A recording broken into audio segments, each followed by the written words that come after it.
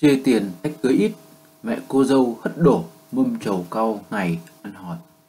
Kiểm tra phong bì thấy không đủ số tiền mình yêu cầu, mẹ tôi bực tức hất đổ mâm trầu cau và đuổi nhà trai ra về. Theo dự kiến, chủ nhật tuần này, Phùng sẽ giúp tôi về làm vợ, nhưng tất cả đều đổ bể về sự cố đau đớn xảy ra trong đám hỏi của chúng tôi. Tôi xuất thân trong gia đình buôn bán ở đất cảng Hải Phòng. Bố mẹ ly hôn, một mình mẹ gồng gánh nuôi con, chịu bao đắng cay, bà gây dựng được sản nghiệp lớn, tốt nghiệp đại học, mẹ đầu tư cho tôi sang Pháp học thạc sĩ. Mẹ tâm sự, từ bé bà ham học nhưng hoàn cảnh mồ côi nên phải bươn trải sớm, không được đến trường đầy đủ. Bao nhiêu ước mơ bà đều dồn vào hai cô con gái rượu. Ra ngoài xã hội, mẹ tôi có tranh chua ghê gớm, nhưng về nhà bà là người mẹ dịu dàng, thương con hết mực. Thứ quý giá nhất chúng tôi học được ở mẹ là sự mạnh mẽ. Dù ngày mai sóng gió có lớn đến mấy, mẹ vẫn kiên cường chống đỡ. Quá khứ sống với người chồng vũ phu keo kiệt nhiều năm trước khiến mẹ vẫn ám ảnh. Bố kiếm ra tiền nhưng tính từng đồng với vợ con. Ngày mới sinh con đầu lòng, mẹ tôi mất sữa, phải nuôi con bằng sữa ngoài, mỗi tháng tốn kém một khoản kha khá. Bố tôi không thông cảm mà chửi bới om sòm, trách mẹ tôi là loại đàn bà ngu đần. Sợ con bĩnh ra chăn, đệm, bố bắt hai mẹ con nằm dưới nền nhà, trải chiếu và lớp áo mưa. Chẳng may con tiểu ra là giặt chiếc áo mưa đó. Mỗi tháng bố chỉ đưa mẹ một khoản chi tiêu nhỏ, điện nước trong gia đình.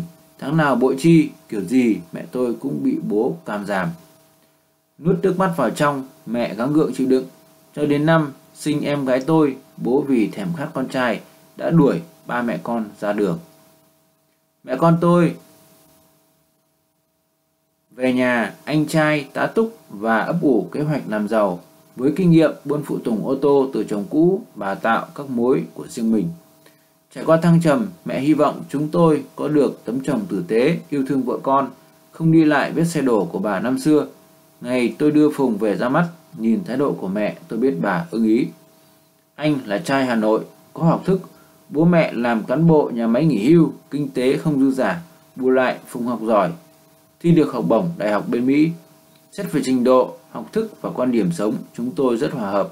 Phùng qua lại nhà tôi 2 năm, anh mới chính thức đặt vấn đề cưới xin. Anh muốn mẹ vợ tương lai hiểu và thực sự đón nhận mình. Kế hoạch đám cưới, đám hỏi được người lớn hai bên bàn bạc kỹ lưỡng trong ngày giảm ngõ. Mọi thứ đều suôn sẻ, duy có việc tiền thách cưới là xảy ra mâu thuẫn. Mẹ tôi bàn với thông gia phong tục ở Hải Phòng phải có 3 phong bì tiền lễ đen – tức là khoản tiền thách cưới đặt trong mâm trầu cau. Các bạn mẹ tôi khi dựng vợ gả chồng cho con cũng đều thực hiện như vậy, trung bình mỗi phong bì từ 3 triệu đồng đến 10 triệu đồng tùy gia cảnh. Mẹ tôi chỉ đề nghị đặt vào mỗi phong bì 2 triệu, tổng 3 phong bì là 6 triệu. Thế nhưng mẹ Phùng phản đối, bà thẳng thắn đáp lại lời mẹ tôi. Trên nhà tôi không có lệ như vậy, cưới xin là hạnh phúc của các con không phải bán buôn mà thách cưới. Bị thông gia tương lai đốt chát, mẹ tôi tự ái, thay đổi sắc mặt, bà nói mát.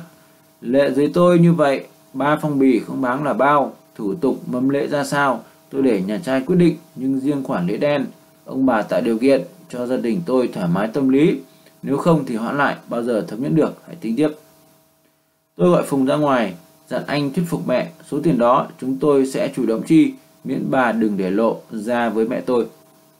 Sau chút trục trặc đó, hai bên lại bắt tay làm hòa, lo chuyện đại sự cho các con. Người ăn hỏi, tôi làm cô dâu xinh xắn, mặc áo dài, gấm thêu chỉ vàng. Tiếng nhạc dập dìu phát ra từ bộ loa làm đám hỏi càng thêm trộn rộn. Họ hàng hai bên trang phục lộng lẫy, tươi cười chúc phúc cho hai đứa. Cho đến khi kết thúc, nhà gái lấy một phần lễ ăn hỏi nhà trai đưa đến, trao lại cho đại diện nhà trai thì chuyện tài đình mới xảy ra. Trong lúc sắp đồ, mẹ tôi kiểm tra phong bì, mỗi phong bì chỉ có tờ 500.000 đồng. Cho rằng bị chơi khăm, mẹ tôi tức giận, chạy xuống nhà hất đổ cả mâm chầu cao, lớn tiếng đuổi nhà trai về. Bà không tiếc lời chỉ trích nhà Phùng keo kiệt bùn xỉn, tiền thách cưới cũng bớt xén. Con gái nhà tôi chưa về làm dâu, nhà các ông các bà đã tính toán với nó từng đồng. Chi mấy chục triệu làm lễ hỏi mà tiếc vài triệu tiền thách cưới, hành xử như vậy không đáng để tôi kết thông gia. mẹ tôi nói toáng lên. Tôi bảo Phùng kiểm tra phía mẹ anh, chẳng ngờ bà thừa nhận đã rút lõi phong bì vì thấy yêu cầu thách cưới của mẹ tôi quá vô lý. Điều mẹ Phùng không ngờ là mẹ tôi sẵn sàng phá hỏng đám hỏi của con gái vì số tiền này. Từ hôm đó đến nay, mẹ tôi sống chết bắt con gái cắt đứt với người yêu và tuyên bố nếu tôi cướp lấy Phùng, bà sẽ từ mặt. Sau tất cả khủng hoảng này, liệu tôi và Phùng có còn cơ hội đến với nhau không?